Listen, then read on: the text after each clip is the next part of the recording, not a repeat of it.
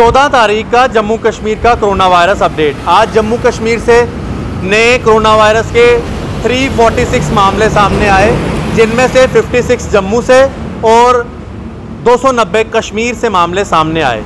इसके अलावा आठ लोगों की आज मृत्यु हुई, जिनमें से एक जम्मू से और सात लोगों की मृत्यु कश्मीर से हुई। 128 लोग अपने अपने घरों में ठीक होके भी आज गए। इसके अलावा जम्मू के आज के जो ओवरऑल केसेस हैं, वो हैं 816 जो अभी तक एक्टिव हैं कश्मीर के हैं तीन हज़ार नौ सौ उनतालीस और ओवरऑल केसेस हैं चार हज़ार सात सौ पचपन।